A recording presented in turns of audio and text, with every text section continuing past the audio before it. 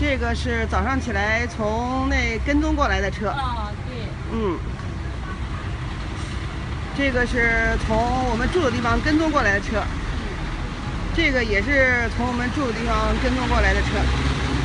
这个也是。嗯。对。